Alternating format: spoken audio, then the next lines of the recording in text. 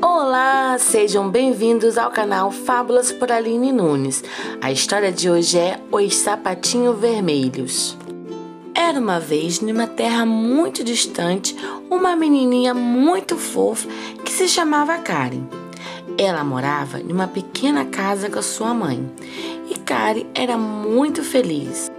Ela fazia perguntas à sua mãe sobre todas as coisas que a deixava curiosa. Mamãe, o que são essas pequenas luzes no céu? São estrelas, Karen, e todo mundo que vive na Terra um dia vão virar estrela e brilhar muito no céu. Karen só tinha um brinquedo, um vestido e um par de sapato de madeira que sua mãe fez, mas eles não eram confortáveis.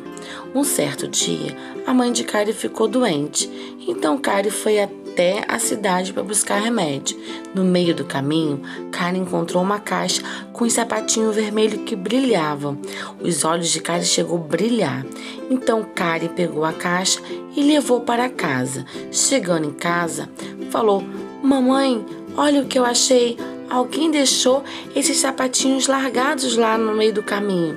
A mãe então falou: Karen, eu não posso comprar sapatos novos para você agora e alguém pode ter perdido. Não quero você usando esses sapatos. Volte e coloque no mesmo lugar. Karen chorou. Em vez de fazer o que a mãe pediu, Karen escondeu os sapatinhos embaixo da cama. Alguns dias depois, Karen foi até a cidade e, quando voltou, procurou a sua mãe por todo lugar. Foi quando Karen descobriu que a sua mãe tinha se tornado então uma estrela no céu. No dia seguinte, no funeral da sua mãe, Karen vestiu o sapatinho vermelho e todos que estavam no funeral comentavam o desaforo e o desrespeito daquela menina usar o sapatinho vermelho. Mas Karen não ligava porque ela amava os seus sapatinhos. Ali passava uma senhora que ficou sabendo que Karen estava órfã.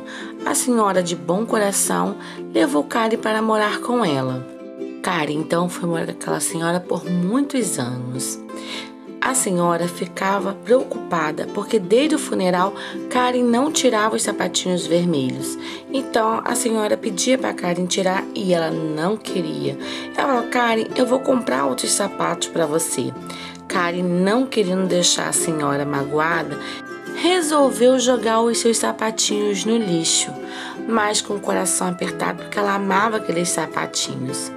Passou-se dias, a senhora então comprou para Karen novos brinquedos e um novo sapato. Mas quando Karen abriu, era um sapato azul. Ela não gostou nada, ficou triste e foi deitar. Chorava de saudade dos seus sapatinhos vermelhos. Passou-se alguns anos, Karen se tornou uma linda jovem. Tudo que a senhora fazia para agradar, Karen não gostava, era muito exigente. Até os sapatos azuis ficaram pequenos no pé do Karen e ela pediu então para a senhora comprar outro. A senhora resolveu levar Karen para a cidade. Chegando na loja, Karen encontrou exatamente o sapatinho vermelho igual ao dela. Ela exigiu que a senhora comprasse. A senhora disse que não, queria comprar um preto. Mas Karen fez cara feia. Para agradar a Karen, a senhora comprou então os dois sapatos. As duas voltaram andando para casa. Elas andaram tanto que o sapato da senhora machucou ela. Ela chorava, pois Karen não a esperou. Andava toda feliz com seus novos sapatinhos vermelhos. Passou-se um tempo e a senhora falou com Karen que elas duas iriam a um funeral na cidade, mas ela não poderia usar o sapatinho vermelho. Karen então colocou o sapatinho e jogou a saia por cima para enganar a senhora. Chegando no funeral, todos estavam olhando aquele sapato desrespeitoso no funeral, mas Karen não ligava. A senhora foi falar com Kari. No mesmo momento, ali passava-se um príncipe que ficou todo apaixonado por Kari e abaixou e olhou que lindos sapatos e convidou Kari para um baile. Kari ficou nesse momento toda feliz e começou a dançar. Só que não esperava, o sapatinho começou a dançar sozinho e Karen pedia para parar e nada do sapatinho parar. E ela, socorro, me ajudem. O príncipe ainda tentou ir atrás de Karen. Sapatinho levou Karen para a floresta.